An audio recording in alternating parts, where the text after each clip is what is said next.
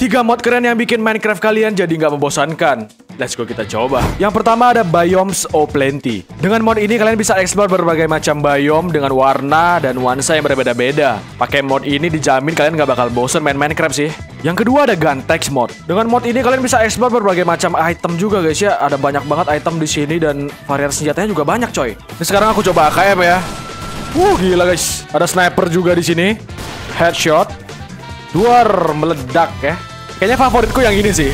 Gokil, rusuh banget guys. Oh, mampus kalian semua sapi-sapi. Gila, ketagihan coy.